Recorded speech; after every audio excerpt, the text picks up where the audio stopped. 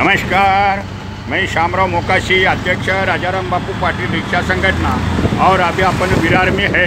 तो मैं सभी मुंबई के रिक्शा वाले जो वसई विरार में रहते हैं, नाला सोपारा में रहते हैं, कल्याण में रहते हैं तो आपको चेंज ऑफ़ एड्रेस करके लीजिए कि समझो आपका परमिट मुंबई का था, बोरोली आर का था वडाला आर का या अंधेरी आर का था, आप पहले उधर रहते थे और अभी आप नाला सोपारा वसई विरार में रहते हैं तो आपका चेंज ऑफ़ एड्रेस कर दीजिए। आधार ओटीपी से ये काम चलता है। जैसा आपका आधार कार्ड का पत्ता होएगा वैसा ही आपका सब लोकेशन दिखाएगा।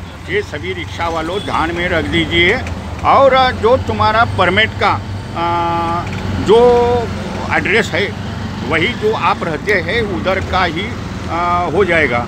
आ, तो उसके लिए आप मुंबई के आरटीओ से चेंज ऑफ़ एड्रेस की एनओसी निकाल के विरार आर में आपका नोंद कर दीजिए कि ये कायदा हो चुका है। अभी रिक्शा वाले भी एनओसी कर रहे हैं। तो सभी जन ने जल्दी जल्दी करो कि कल कानून बदलेगा तो आपको पेनल्टी भी लग सकती है। आधार कार्ड काम से काम चालू होने, हो रहा है तो इसमें आपका परमिट भी लटक जाएगा। जो आप किधर रहते हैं उसका पता भी चलेगा। आ, तो सभी जन ने आप अपना एन चेंज ऑफ़ एड्रेस की एन निकालो और विरार आर में चेंज कर दीजिए। या कल्याण में रहते हैं तो कल्याण आर में कर दीजिए। तो उसके लिए आधार कार्ड का पहला पत्ता बदली कर दीजिए। और आधार कार्ड का पत्ता बदली करेगा तो लाइसेंस का पत्ता बदली कर दीजिए।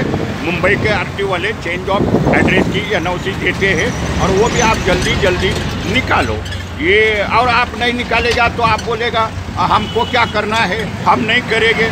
देखो ऑनलाइन से सब ये काम चालू हो गया है और वो ऑनलाइन से आपको आपका काम लटक जाएगा। इसके लिए मैं सभी मुंबई के रिक्शा वाले जो वसई विरार में रहते हैं, उनको इतना ही ये हिरिंग के माध्यम से विनंती करूँगा कि जब तक ये सरकार की योजना है, जब तक ये कायदा है, तब तक तत्काल आपकी चेंज ऑफ़ एड्रेस की एन निकालो और विरार आर में या कल्याण आर में आप जिधर रहते हैं, उधर महाराष्ट्र में किधर भी समझो आप। रिक्शा का परमिट मुंबई का है, आप रहते ही नहीं। आप रहते हैं सातारा, संगली, कोल्हापुर। तो उधर आप चेंज ऑफ़ एड्रेस कर दीजिए। ये सभी जन की ज़िम्मेदारी है। तो सभी रिक्शा वाले ये वीडियो शेयर कर दीजिए कि जेने करके सभी रिक्शा वाले को समझ जाएगा चेंज ऑफ़ एड्रेस की एन धन्यवाद।